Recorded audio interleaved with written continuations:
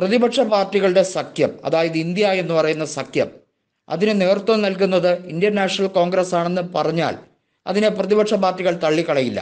കോൺഗ്രസ് തന്നെയാണ് ഏറ്റവും വലിയ ഒറ്റകക്ഷി. എന്നാൽ തീരുമാനങ്ങളെല്ലാം തന്നെ എടുക്കുന്നതും സീറ്റ് വിഭജനം ഉൾപ്പെടെ നടത്തുന്നതും കോൺഗ്രസിന്റെ മാത്രം തീരുമാനമായി മാറുകയാണെങ്കിൽ അല്ലെങ്കിൽ കോൺഗ്രസ് ആണ് അതിനകത്ത് ഏറ്റവും വലിയ തീരുമാനം എടുക്കേണ്ടതെന്ന സാഹചര്യം വന്നാൽ അത് പ്രതിപക്ഷ പാർട്ടികൾ അംഗീകരിക്കില്ല എന്നുള്ളതാണ് വാസ്തവം. ഓരോ സംസ്ഥാനങ്ങളുടെയും കൃത്യമായിട്ടുള്ള രാഷ്ട്രീയം അറിയാവുന്ന കോൺഗ്രസ്സിന് അങ്ങനെ ഒറ്റയ്ക്ക് ഒരു തീരുമാനം എടുക്കാൻ കഴിയില്ല. പക്ഷേ പരമാവധി അങ്ങനെയൊക്കെ തീരുമാനം എടുക്കാൻ കഴിയുമോ എന്ന ആഗ്രഹം കോൺഗ്രസ്സിനകത്തുണ്ട്.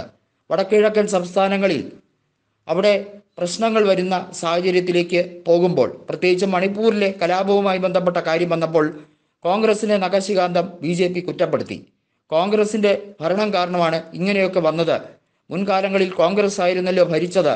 പല സംസ്ഥാനങ്ങളിലും അതുകൊണ്ടാണല്ലോ കോൺഗ്രസ് വേരോടെ പിഴുതെറിയപ്പെട്ടത് എന്നൊക്കെ പറയുമ്പോൾ പ്രതിപക്ഷ പാർട്ടികൾ എല്ലാ രീതിയിലും കക്ഷി രാഷ്ട്രീയം മറന്നുകൊണ്ട് ഒറ്റക്കെട്ടായി കോൺഗ്രസിനെ സഹായിക്കുകയും അതുമാത്രമല്ല ഈ വിഷയത്തിൽ ബി ജെ പിയുടെ നിലപാടിനെ പ്രതിരോധിക്കുകയും ചെയ്തു.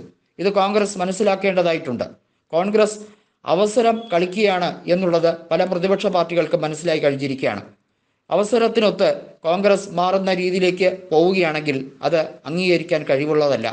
കാരണം കോൺഗ്രസിന്റെ ഇപ്പോഴത്തെ ദുർബലമായ അവസ്ഥ മാത്രമല്ല കാര്യം. പ്രതിപക്ഷം എന്ന രീതിയിലേക്ക് ഇന്ത്യയെ കൊണ്ടുവരികയാണെങ്കിൽ അതിനകത്തെ എല്ലാ പാർട്ടികൾക്കും തുല്യമായിട്ടുള്ള പ്രാധാന്യമുണ്ട്. സീറ്റ് വിഭജനം ഉൾപ്പെടെയുള്ള കാര്യങ്ങൾ വരുമ്പോൾ വിജയസാധ്യത മാത്രമല്ല. എല്ലാ പാർട്ടികൾക്കും സീറ്റുകൾ ലഭ്യമാകുന്ന തരത്തിലേക്ക് മത്സരിക്കാൻ കോൺഗ്രസ് തയ്യാറാകുമോ എന്നുള്ളതാണ് കാത്തിരുന്ന് കാണേണ്ടത്.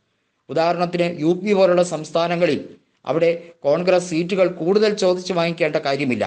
വിജയസാധ്യത ഉൾപ്പെടെയുള്ള കാര്യങ്ങൾ മാത്രമല്ല അവിടെ കണക്കിലെടുക്കേണ്ടത്.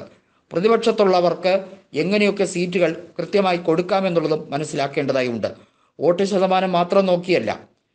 പ്രതിപക്ഷത്തിനെ എല്ലാ രീതിയിലും അവഗണിച്ചുകൊണ്ട് ഏകകണ്ഠേന കോൺഗ്രസ് മാത്രം ബി ജെ പിയുമായി നേർക്കുനേർ പോരാട്ടമുള്ള സംസ്ഥാനങ്ങളിൽ ഇനി മത്സരിക്കാമെന്നുള്ള രീതിയും കരുതപ്പെടേണ്ട കാര്യമില്ല എന്നുള്ളതും ഒരു സൂചനാപൂർവം പ്രതിപക്ഷ പാർട്ടികൾ കൊടുക്കുന്നുണ്ട്. അവരെ കൂടി പരിഗണിക്കേണ്ടതിന്റെ അനിവാര്യത മനസ്സിലാക്കണം. കാരണം പ്രതിപക്ഷ പാർട്ടി എന്ന് പറഞ്ഞാൽ കോൺഗ്രസ് ദുർബലമായടത്ത് കോൺഗ്രസിന് സീറ്റ് കിട്ടാൻ വേണ്ടി മാത്രമായിരിക്കരുത്. കോൺഗ്രസ് ശക്തിയുള്ളിടത്തും കോൺഗ്രസിന്റെ സഹായം പ്രതിപക്ഷ പാർട്ടികൾക്ക് വേണം. എന്നാൽ മാത്രമേ തിരിച്ചും സഹായിക്കാൻ കഴിയൂ. അതായത് ഒരു പാലമിട്ടാൽ അങ്ങോട്ടും ഇങ്ങോട്ടും. അതല്ലെങ്കിൽ പ്രതിപക്ഷ പാർട്ടി അല്ലെങ്കിൽ പ്രതിപക്ഷത്തിന്റെ ഇന്ത്യ എന്നുള്ള രീതിയിലുള്ള ശ്രമങ്ങളൊക്കെ ദുർബലമാകും അല്ലെങ്കിൽ വെള്ളത്തിൽ വരച്ച വരയാകും. രണ്ട് മൂന്ന് റൗണ്ട് ചർച്ചകൾ കൊണ്ട് കാര്യം തീരുന്നില്ല. മണ്ഡല പുനഃക്രമീകരണം ഉൾപ്പെടെയുള്ള കാര്യങ്ങൾ വരുമ്പോൾ ആ ക്രമീകരണത്തിന്റെ ഭാഗമായി ചിലപ്പോൾ സീറ്റുകൾ ഇനിയും കൂടും. ആ സമയത്തൊക്കെ പ്രതിപക്ഷത്തിന്റെ ആവശ്യം എന്താണെന്നുള്ളത് അത് കോൺഗ്രസ് മാത്രം തീരുമാനിക്കുന്ന കാര്യമല്ല പ്രതിപക്ഷ പാർട്ടികൾ ഒത്തൊരുമയോടുകൂടി തീരുമാനിക്കേണ്ട കാര്യമാണ്.